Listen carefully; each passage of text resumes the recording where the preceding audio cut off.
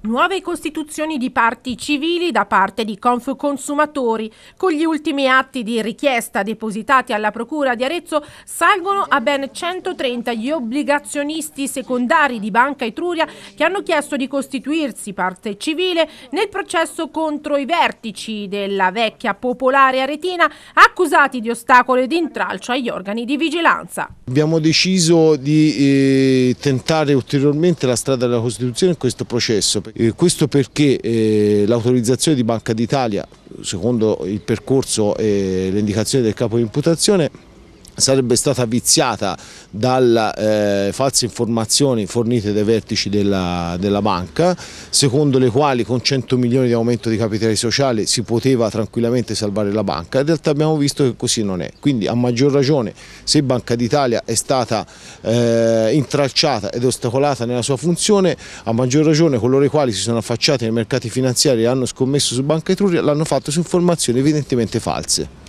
Non escludete di chiamare in causa anche la vecchia banca? Non lo escludiamo, vediamo in caso di ammissione quello che sarà possibile fare perché a mio avviso per i vertici della banca ne, deve rispondere in solido la vecchia banca. Chi, chi, sono le persone che si sono rivolte a voi? Sono 130 persone, 120 delle quali risiedono in Toscana e hanno complessivamente investito in Etruria 3 milioni e mezzo di euro fra obbligazioni subordinate ed azioni. La sensazione eh, palpabile è che si voglia eh, confondere le acque, si voglia evitare in realtà di aggredire l'unico soggetto vero che è la nuova banca delle Etruria del Lazio.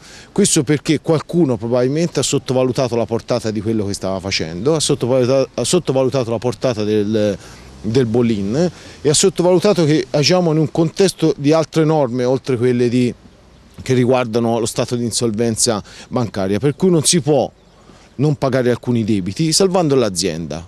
Se l'azienda esiste e continua ad operare deve pagare i suoi debiti. Consigliamo a tutti di agire giudizialmente nei confronti della nuova, della nuova banca per ottenere il risarcimento dei danni.